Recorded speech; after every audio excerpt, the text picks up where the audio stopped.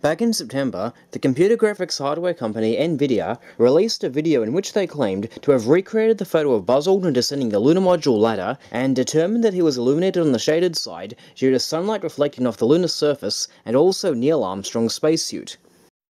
On October 2nd, I released a video showing that this claim was wrong.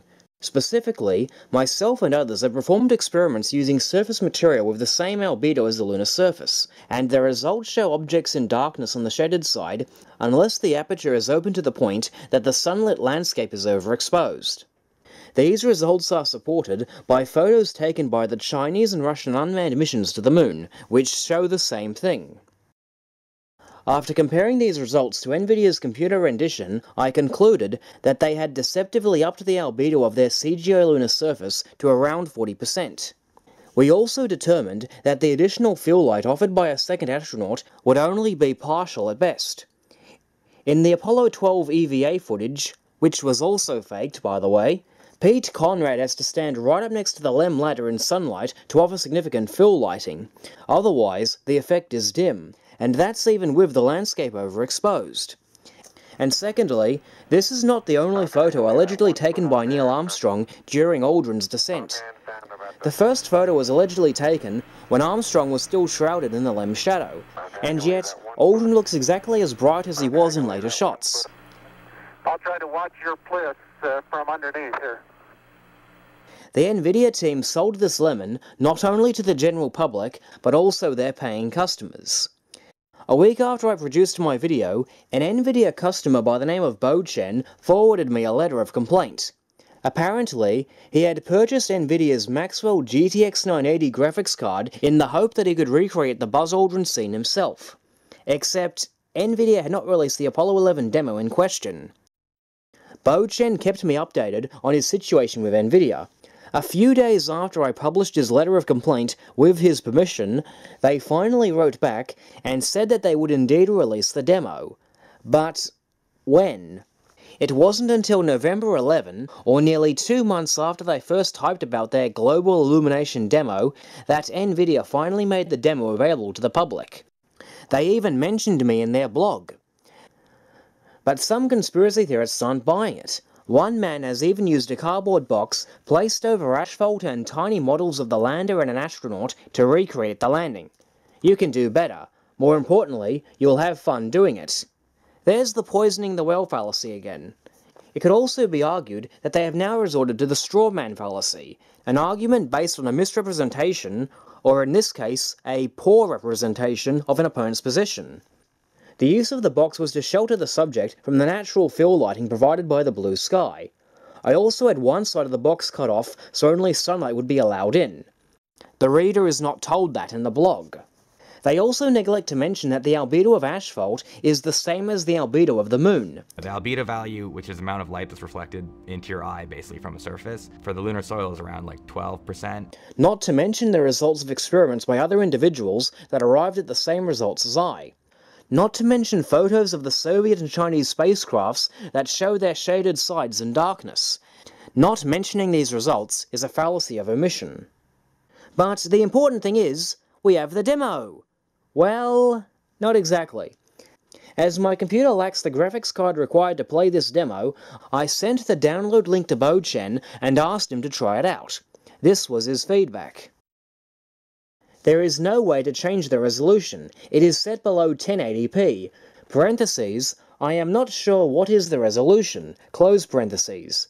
The frames per second is very slow, always below 30 FPS, and I have overclocked both my CPU, parentheses, 4.4 GHz, close parentheses, and my GTX 980.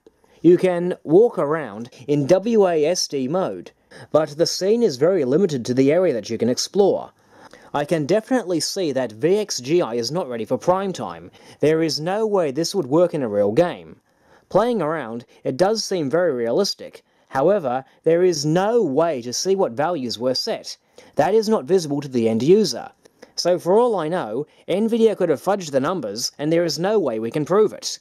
If the numbers were set correctly, then I don't see any inconsistencies, and it appears to be realistic and valid. NVIDIA, however, closed this demo so neatly that one cannot delve into the underlying values and parameters. so they could still have very well done some funny monkey business. Isn't that revealing? Since reflectivity is the key part of this discussion, one would have thought that the demo would have come with adjustable albedo settings for the landscape, astronauts, and other objects. That way, you could know for sure what the albedo was and see how the reflections compare at lower or higher settings. A few others also noted the lack of editability in the comments section of NVIDIA's blog. One person asked, How about sharing the UE4 project files? UE4 is Unreal Engine 4, the software used to create this Apollo 11 scene.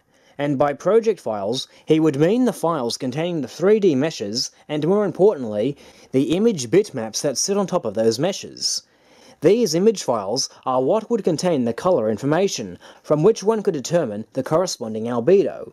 So anyone with access to these image files for the ground and spacesuit would be able to find out what their albedos were. But, as luck would have it, the demo provides us with a means of getting this information directly. Because my computer couldn't read the demo, I asked Bo Chen to send me screen caps of it. He did just that. He sent me screen caps of various scenes taken with different settings, i.e. wireframes, with and without Neil, with and without the global illumination, etc.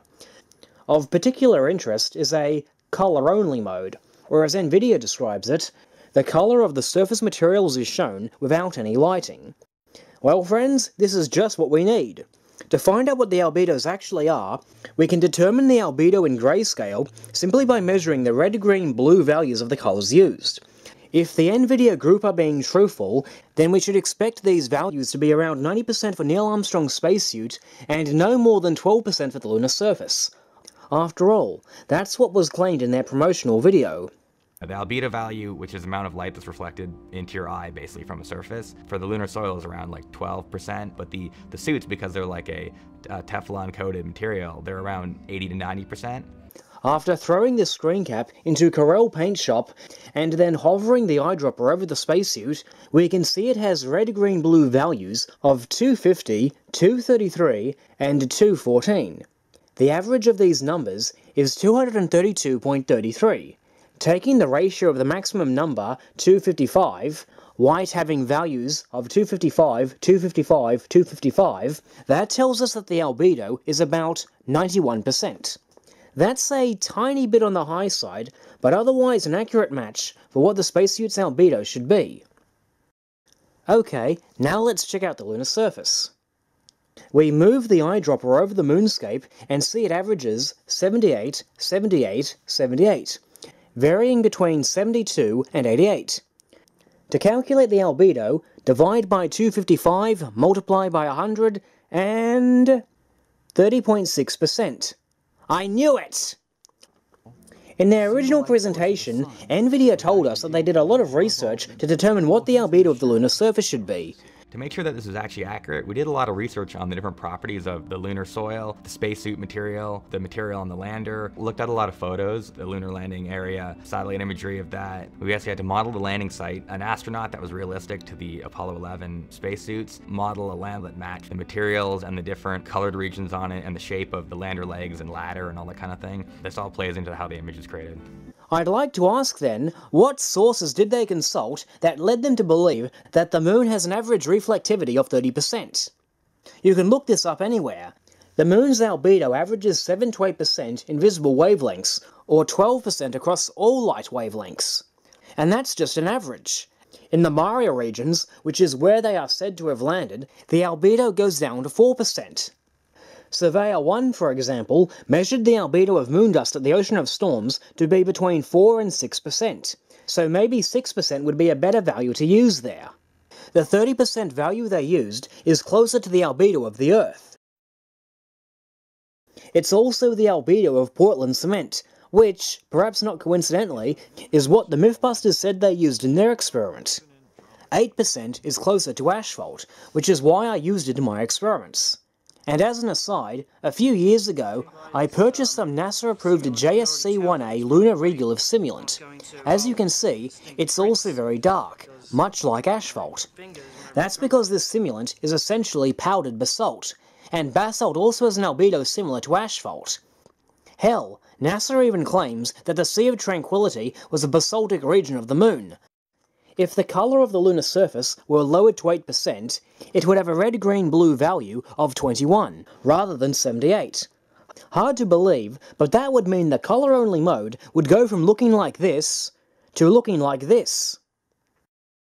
The ground may look black like the sky, but in fact it has a red-green-blue value between 20 and 21, corresponding to the 8% reflectance. That being said, I dare say that the only research NVIDIA did on albedo was to figure out how high they needed to make it in order to get the result they wanted.